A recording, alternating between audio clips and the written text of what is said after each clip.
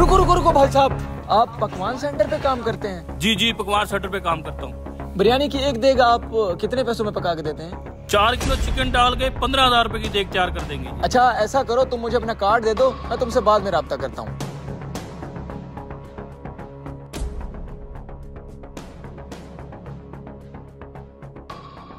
वो चला गया जल्दी उतार इसको।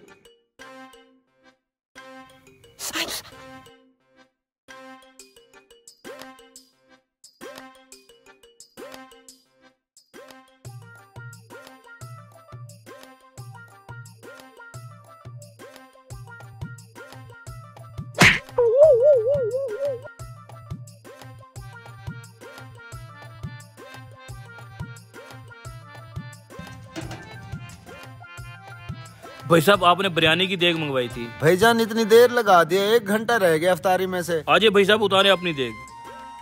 यहाँ से हाथ मुँह धो लें बहुत गंदे हो गए हैं। चावल बहुत गर्म है तब तक ये ठंडे हो जाए।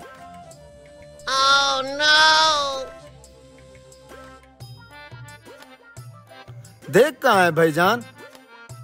देग कहाँ गई उम्र सारी। ओ भाई किधर है देख भाई साहब देग तो मैं लेके आया था। अब पता नहीं कहाँ गायब हो गई है। मुझे नहीं पता मुझे अफतारी से पहले देख चाहिए। मेरे मेहमान है बैठे हैं अफतारी के लिए। नहीं तो मुझसे बुरा कोई नहीं होगा।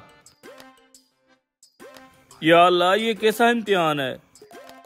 रास्ते में जाके देखता हूँ शायद कहीं गिरी पड़ी हो।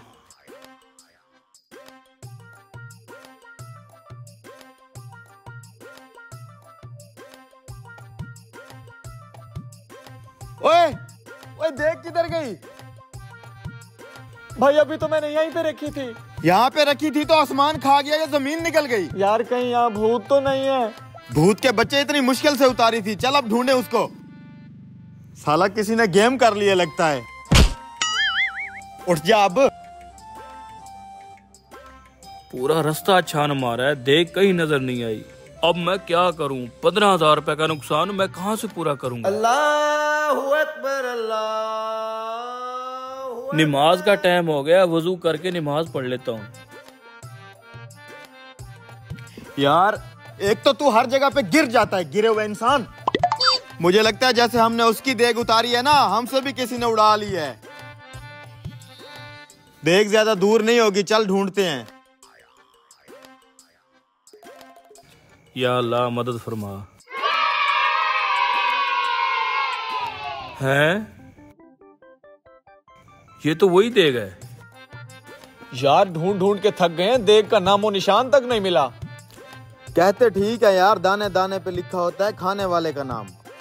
चल हम अपना नसीब ढूंढते हैं। भाई साहब ये देख तो मेरे सर पे रखवाना। ये देख यहाँ कैसे पहुँची? अबे तू ये सोच ये देग वाला यहाँ पे कैसे पहुँचा? भाई साहब मुझे जल्दी है मेहरबानी करके ये देख मेरे सर पे रखवाएँ।